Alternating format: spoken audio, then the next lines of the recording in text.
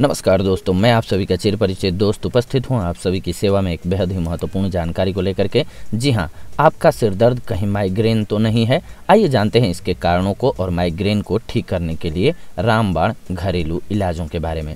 सिर दर्द का रोग, अर्धकपारी या फिर माइग्रेन एक बड़ी ही आम सी बीमारी है। कई लोग माइग्रेन से हफ़्ते में एक या दो बार ज़रूर जूझते हैं।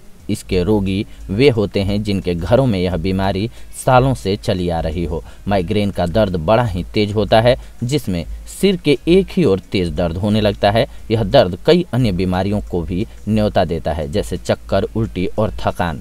समय के साथ चिकित्सा जगत ने काफ़ी तरक्की कर ली है, लेकिन एक स्वास्थ्य समस्या है जिसका सटीक इलाज अभी तक सामने नहीं आ पाया है, और वो है माइग्रेन। इस बीमारी का इलाज अभी तक एक रहस्य ही बना हुआ है। माइग्रेन क्या है और आखिर क्यों लोग इस बीमारी से परेशान होते हैं? इस सवाल का जवाब अभी तक नहीं मिल पाया है। दरअसल माइग्रेन सिर दर्द का ही एक प्रकार है, जो न सिर्फ़ लोगों के स्वास्थ्य और कार्य क्षमता पर असर डालता है, बल्कि यह उनके सामाजिक जीवन को भी बुरी तरह से प्रभावित करता है। माइग्रेन के दर्द को ठीक करने के कई तरीके हैं, जैसे दवाइयाँ या फिर कुछ खाद्य पदार्थ। क्या आप जानते हैं कि ऐसे कई फूड्स हैं जिन्हें खाकर आप माइग्रेन के दर्द से तुरंत ही छुटकारा पा सकते हैं? यदि आपको हर समय दवाइयों पर ज़िंदा नहीं रहना है तो अब खाद्य पदार्थ खा करके अपने जीवन की रक्षा करें। इन्हें खाने के अलावा थोड़ा आराम करना भी आवश्यक होता है। वैसे तो सिर दर्द एक सामान्य सी बीमारी है, जो जल्द ही ठीक हो जाता है, लेकिन माइग्रेन से होने वाले सिर दर्द असहनीय होते हैं।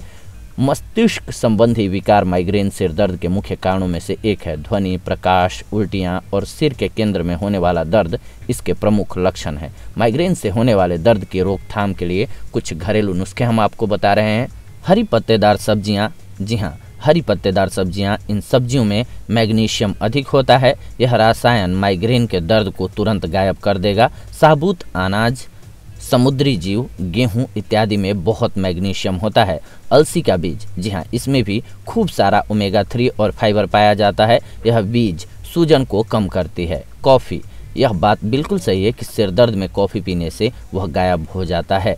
तो माइग्रेन अटैक आने पर भी कॉफ़ी का सेवन ज़रूर करना चाहिए। अदरक। आयुर्वेद के अनुसार अदरक आपके सिर को, यानी कि सिर के दर्द को ठीक कर सकता है। भोजन बनाते वक्त उसमें थोड़ा सा अदरक मिला दें और फिर खाएँ। बाजरा। इसमें फाइबर, एंटीऑक्सीडेंट और मिनरल पाए जाते हैं।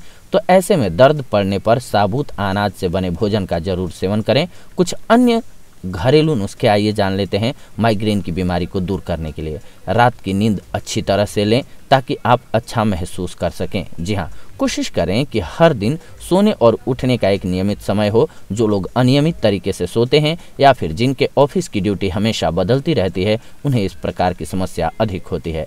माइग्रेन के दर्द से बचने के लिए सही आहार का सेवन करें, यह आपके लिए बहुत ज़रूरी होता है। एक तौलिए को गर्म पानी में डुबाकर उस गर्म तौलिए से दर्द वाले हिस्सों में मालिश करें। कुछ लोगों को ठंडे पानी से की गई इस तरह की मालिश से भी आराम मिलता है। इसके लिए आप बर्फ़ के टुकड़ों का उपयोग भी कर सकते हैं। कपूर को घी में मिला करके सर पर हल्के हाथों से मालिश करें। मक्खन में मिश्री मिला करके सेवन करें। आपको लाभ होगा। नींबू का छिलका पीस करके उसका लेप माथे पर लगाने से माइग्रेन ठीक होता है। अधिक आप लाभ उठाना चाहते हैं तो पानी का सेवन उचित मात्रा में हर रोज़ ज़रूर करें और अपनी दिनचर्या को नियमित ज़रूर कर लें, यानी कि आपके सोने का एक सही समय हो, जगने का सही समय हो मॉर्निंग वॉक करें ताकि आप स्वस्थ रह सकें। जी हाँ दोस्तों तो ये थी आज की जानकारी आप सभी के लिए। अगले एपिसोड में आप सभी का साथ जुड़ेंगे एक और बेहद ही महत्वपूर्ण जानकारी को लेकर के। तब तक के लिए धन्यवाद। नमस्कार दोस्तों।